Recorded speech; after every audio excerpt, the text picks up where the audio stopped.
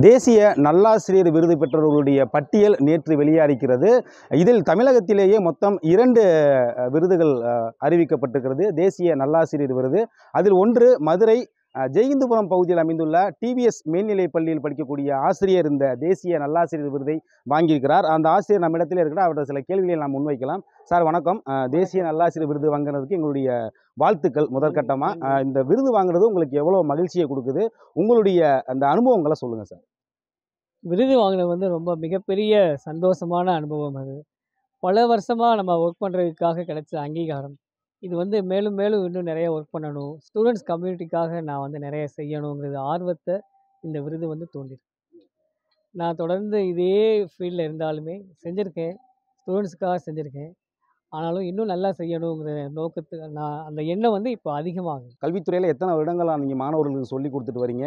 என்ன மாதிரியான விருதுகள் நீங்கள் வாங்கியிருக்கீங்க? என்ன பாடங்களை மக்கள் மாணவர்களுக்கு எடுத்திருக்கீங்க? இதுவரை எத்தனை மாணவர்களை நீங்கள் கடந்திருக்கீங்க? உங்கள் மூலியமாக எத்தனை மாணவர்கள் தேர்ச்சி அடைஞ்சு போயிருக்காங்க?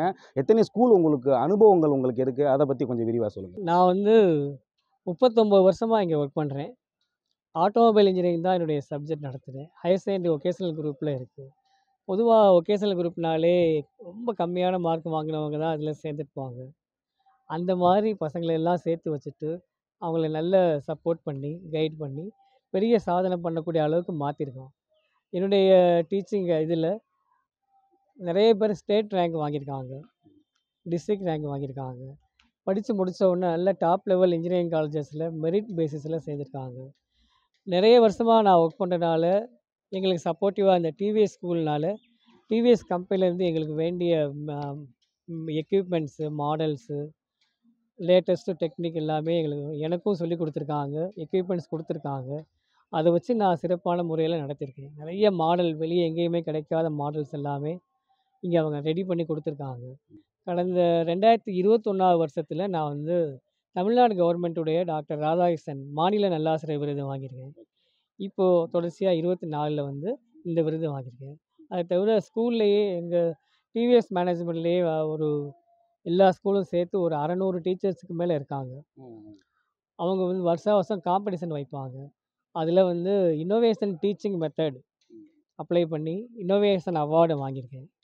கேஷ் அவார்ட் டென் தௌசண்ட் ரூபா கொடுத்தாங்க. எல்லாருமே பார்ட்டிசிபேட் பண்ண இதில் வந்து அது கூட ரெண்டாயிரத்தி இருபத்தி ஒன்றில் தான் வாங்கியிருக்கேன். Okay sir. இப்போ முப்பத்தி ஒன்பது வருடங்களாக இந்த கல்வித்துறையில் மாணவர்களுக்கு வந்து பாடம் எடுத்துகிட்டு வர ஆசிரியராக இருக்கீங்க. என்ன மாதிரியான சிக்கல்களை நீங்கள் சந்திச்சிருக்கீங்க? அதே மாதிரி இந்த முப்பத்தி ஒம்பது வருட இதில் வந்து எத்தனையோ மாணவர்களை கடந்து வந்திருப்பீங்க. இப்போ வருங்கால மாணவர்கள் இப்போ படிக்கக்கூடிய மாணவர்கள் படிக்க போகக்கூடிய மாணவர்களுக்கு என்ன நீங்கள் ஒரு அறிவுரையாக வழங்குவீங்க? மாணவர்கள் வந்து நான் நிறைய டைப் பார்த்துட்டேன். ஏன்னா நான் சேர்கிற காலத்தில் வந்து ஸ்டூடெண்ட்ஸ் வந்து நான் அப்போ தான் படித்து முடிச்சு வந்திருக்கேன். ஸ்டூடெண்ட்ஸ் எல்லாம் ரொம்ப பெரிய பசங்களாக இருப்பாங்க. ஆனாலுமே ரொம்ப ஒபீடியண்ட்டாக இருப்பாங்க. அந்த காலத்துலேருந்து இப்படியே அப்போ வந்து நாங்கள் வந்து சும்மா கொஸ்டின் பேப்பர்லாம் டைப் படித்து ரோனியோ பண்ணி தான் கொடுப்போம். காலத்துக்கு தகுந்த மாதிரி மாறிட்டே வந்திருக்கோம். நானும் மாறிட்டே வந்திருக்கேன். ஸ்டூடெண்ட்ஸும் மாறி வந்திருக்காங்க. அவங்களுக்கு வந்து நிறைய நாலேஜ் எல்லாம் வந்திருக்கு.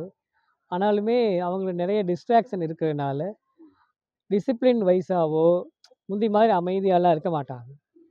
இப்போ அவங்கள வந்து ஹேண்டில் பண்ணுறதுக்காக நம்ம எக்ஸ்பர்ட் ஆகணும். அதுக்காக வெறும் டீச்சிங் தவிர நான் கவுன்சிலிங் ட்ரைனிங் எடுத்திருக்கேன். ஸ்டூடெண்ட்ஸோட ப்ராப்ளம் வந்து கவுன்சிலிங் பண்ணுறதுக்காக ஒன் இயர் கோர்ஸ் ட்ரைனிங் எடுத்துட்டு அவங்களுடைய மென்டல் ப்ராப்ளம்ஸ் எல்லாத்தையுமே ஒரிஸ் எல்லாத்தையுமே நல்ல சஜஷன்ஸ் கொடுத்து அவங்கள நல்லபடியாக ஹேண்டில் பண்ணியிருக்கேன். அதனால் ஸ்டூடெண்ட்ஸ் வந்து என்ன செய்யணும்னா சுற்றி எப்படி இருந்தாலுமே அவங்க வந்து எல்லா டெக்னாலஜியையும் கற்றுக்கணும் அதில் உள்ள நல்லதை மட்டும் எடுத்துக்கணும். எல்லாருமே சொல்கிறாங்கங்கிறதுக்காக வேறு எந்த இதுலேயும் ச தவறான செயல்களில் ஈடுபடக்கூடாது. செல்ஃபோனே சொன்னால் கூட செல்ஃபோன் வந்து நல்லது தான் அது நம்ம கற்றுக்கவே இல்லைன்னா பின்னாடி வந்து ரொம்பவும் பின்தங்கிடும் அதனால் நல்லதெல்லாம் கற்றுக்கணும் அதுதான் நான் ஸ்டூடெண்ட்ஸுக்கு சொல்லக்கூடிய அட்வைஸ்